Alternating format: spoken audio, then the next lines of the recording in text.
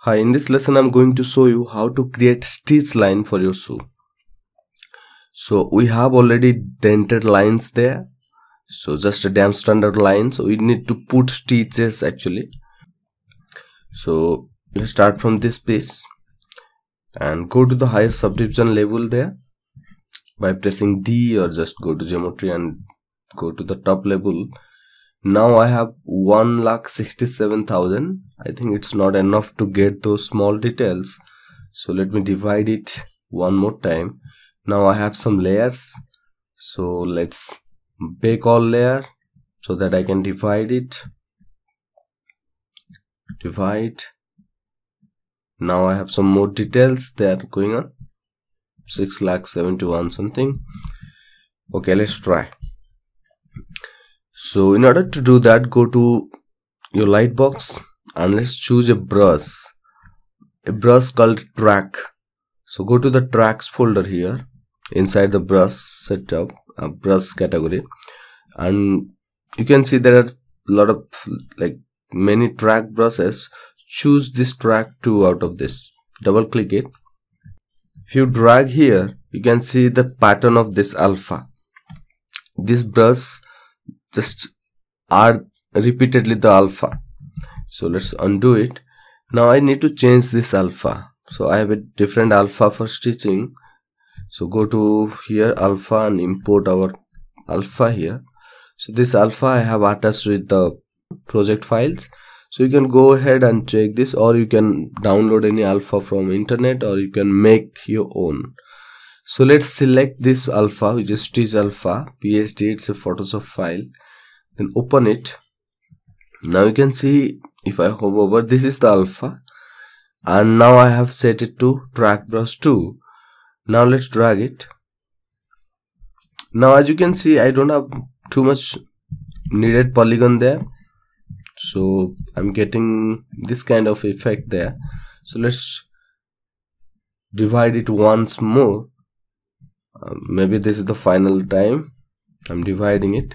Okay now as you can see it's giving me uh, getting the stitch details but the side is raised right? The alpha the alpha sides we can see it.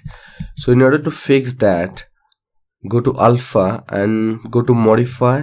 Here we will see a option called mid value. Give 50 there. So this is the mid value so I know the outside gray area has 50 value. So always when you make it in Photoshop give the unwanted rest area or outside area 50% gray. So that's how you will end up like putting 50 here so that it will not affect anything which is 50% gray. So now if you drag you will only see the stitches okay? Now let's go to the stroke and lazy turn on lazy mouse. And this will help me to like give a clean stroke.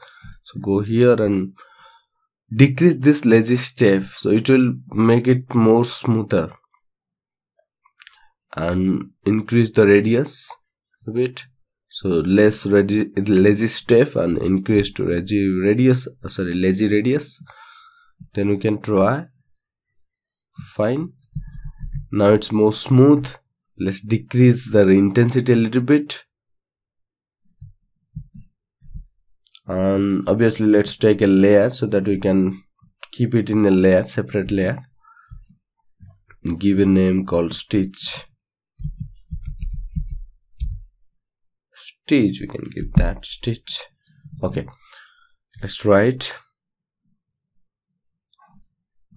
um, before you do do one more thing which is turn on this dynamic option. Hold shift and click here. So make sure it's white. Now it's turned off before it was turned on. So turn on this. What it does if it's on it always the brush size stays the brush size always stays with the object. Uh, the ratio of the brush size always keeps keeps there if i like go zoom out or something like that it's always with the same size. So make sure you turn on that and let's start doing this. Okay. So if you want bigger stitches just turn on just decrease the brush size there and let's do it. Okay as you can see i'm getting very good stitches there let's rotate a bit. I think still it's pretty small. Let's go for maybe 12 brush size now it's dynamic.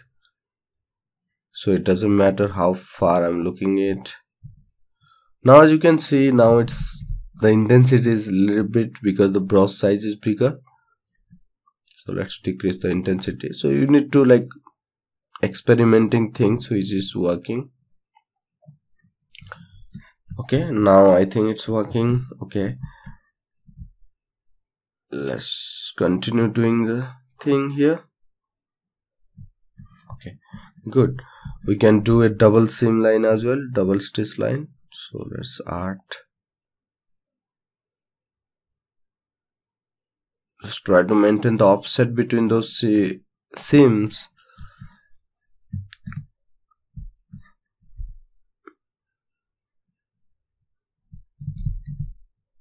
and try to make it seamless here as well. Oh.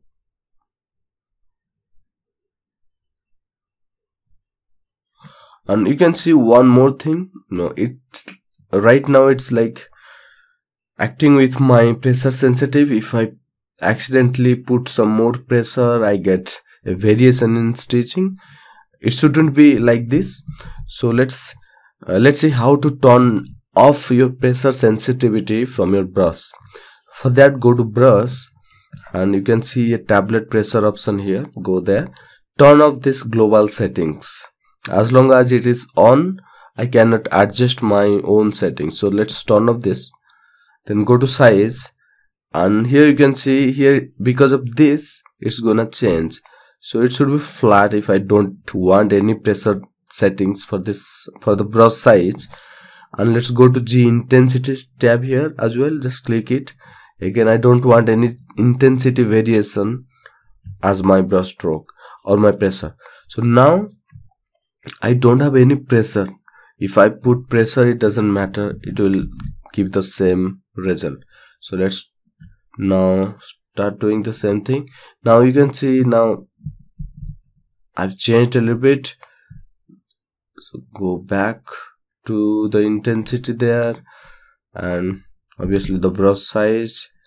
Now we are using a different setting so i need to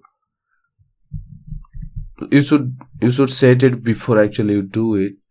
So let's maybe go 7 8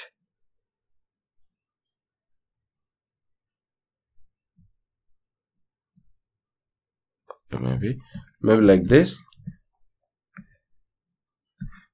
okay as you can see we are getting very good stitches there. So do this wherever you want or wherever you need it. I'll do those in between lessons so i'll see you there once i completed those putting those seam lines here as well. So i'll see you there